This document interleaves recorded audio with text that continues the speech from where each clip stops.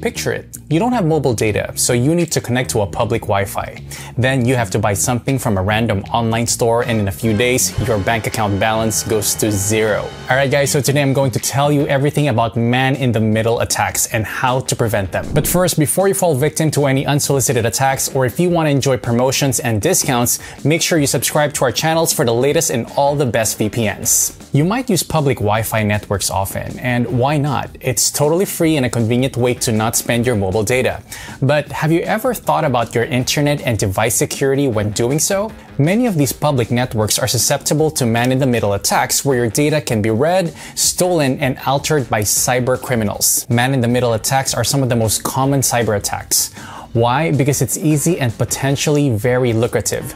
Not only can you expose your financial details this way, but you also risk losing all your personal, valuable information because of it. So what are man-in-the-middle attacks? As the name suggests, the bad guy inserts him or herself on a communication between two devices and reads the traffic without anyone noticing.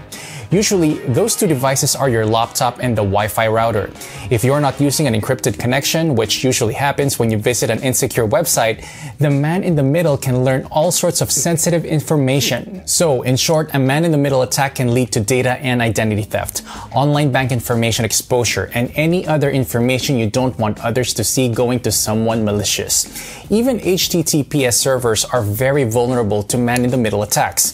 As recently as 2016, it was found that that 95% of HTTPS servers are vulnerable. Scary, right? It's not just about laptops either. I mean, think about it. What device do you use the most and need the most protection on? That's right, your phone. You carry it with you to the shop, to the cafe, and you even connect to strange public Wi-Fi connections so you don't have to use your mobile data. Believe it or not, phones are just as susceptible to man-in-the-middle attacks as any other device.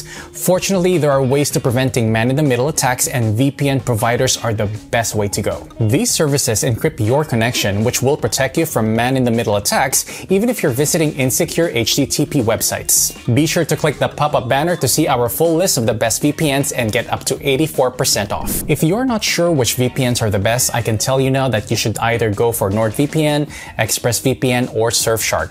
The reason being is that all three offer top-notch security features that specially prevent man-in-the-middle attacks. Some security features including location masking, bypassing geo-blocking and internet censorship, and overall internet security posture. All of these features are especially important if you plan on regularly using open or public connections.